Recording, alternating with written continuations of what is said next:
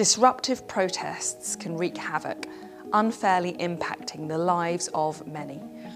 Today, I'm pleased to announce that the Public Order Bill has received royal assent from His Majesty the King. As the Public Order Act of 2023, this law will bring in new offences for unacceptably disruptive and damaging protest tactics.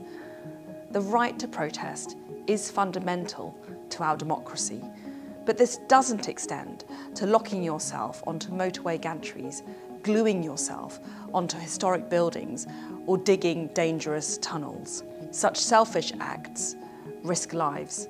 They drag our police away from communities and they stop hard-working people from simply getting to work.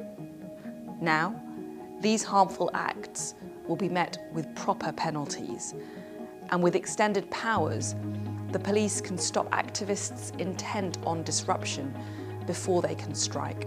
Those who seek to attack our ways of life repeatedly will be met with court orders preventing them from causing chaos again. This government is on the side of the law-abiding majority. I will ensure that people are able to go about their lives without being held to ransom by a minority of self-serving individuals.